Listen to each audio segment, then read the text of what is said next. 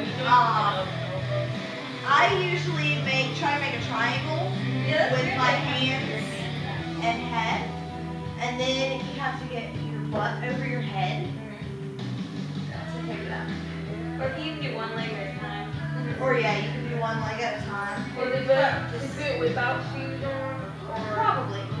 yeah. Or so are the tripod things that on your elbows. Ooh, what's that?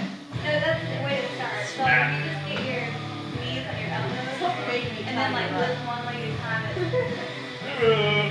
But you're not waving. You're not waving. Uh, oh, so